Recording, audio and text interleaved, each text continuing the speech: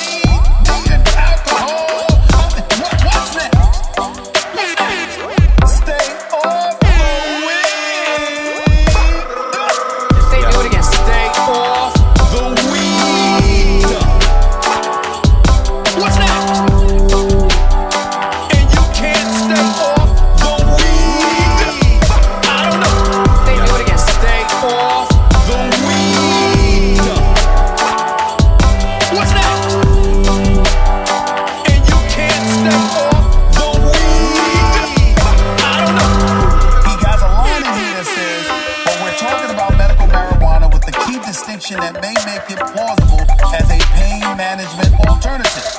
It does not contain THC, the ingredient that gets a person.